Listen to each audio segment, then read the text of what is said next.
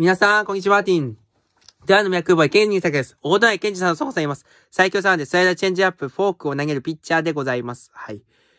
えー、確かに大台ケンジさん、ルーキーイヤーは不本意で裏切る結果となりましたが、その後、2年目は11勝上げるも、防御率が悪化ですね。はい。チームは最下位となってしまいましたね。はい。その2009年もあまり出ず、2012年、実は活躍し、防御率2点台と4位に貢献。ち、最優秀、なんだろう。防御率ランキング4位と貢献。確かに最強の左腕でございますが、その後怪我で投げず、ロッテに移籍してもダメで引退となりました。その後コーチを務めたそうです。確かに迷宮界間違いなしのサウスポーでしたが、期待を裏切る結果ですね。以上です。バイバイ。